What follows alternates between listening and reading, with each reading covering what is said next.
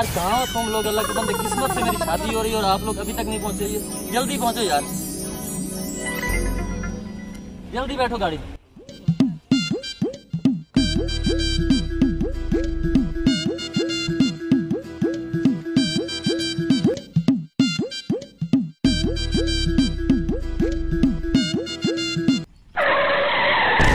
यार, इसको क्या हो गया? ओहो। इसका तो पेट्रोल खत्म हो गया। तुम्हारे पास कितने पैसे हैं? दो ना यार। वापस ले लेना। यार ये पैसे। इसका क्या मिलेगा? ओ यार मेरे पास भी सौ रुपए निकला है। चलो अच्छा ऐसा यार ये लो एक सौ मेरे पास ये सौ इसके पहुँच पेट्रोल जाएगा। चुकी है ससुराल वालों। हाँ जी आ रहा हूँ जी आ रहा हूँ। ओ बस जी दोस्तों ने देर कर दी। अभी पहुँच रहा हूँ जी। भाईजान पेट्रोल पंप यहाँ पे नज़दीक है। बहुत दूर है भाई।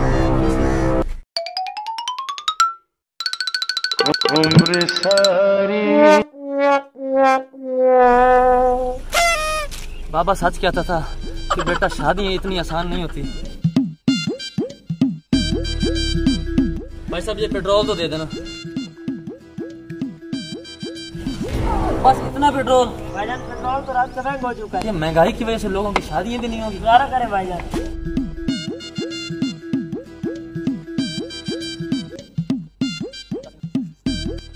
या अल्लाह, बहुत देर होगी। सुबह पहुँचना था, ग्यारह बजे पाँच बज गए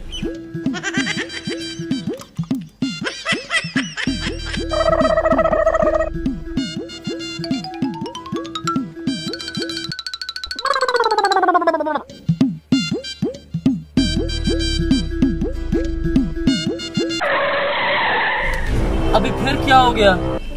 पेट्रोल तो भी डलवाया तो देखो। यार रात वाले इंतज़ार कर। रहे हैं बोल के तेरे पास पैसे नहीं शादी। यार महँगा हो गया मैं क्या करूँ? महँगा हो गया बीस रूपए महँगा हुआ है।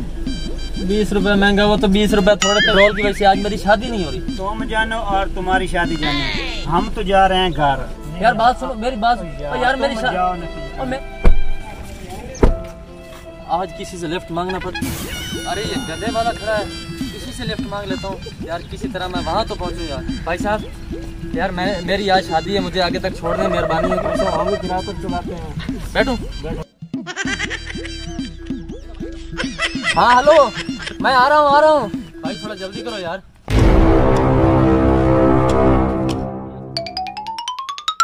आज मेरी शादी है। किस घर में आपकी शादी है? ये सामने वाले घर में। लेकिन ताले क्यों लगे हैं? ओ भाई हेलो। ओ उन्होंने तो दोपहर अपनी बेटी भी आके किसी को दे दी है। नहीं। दे दी है? नहीं। तो दे दी है। ये है पेट्रोल का मसला असल दुल्हन कहाँ है? आप अकेले आ गए हैं। आज कल यहाँ घर पहुँचा।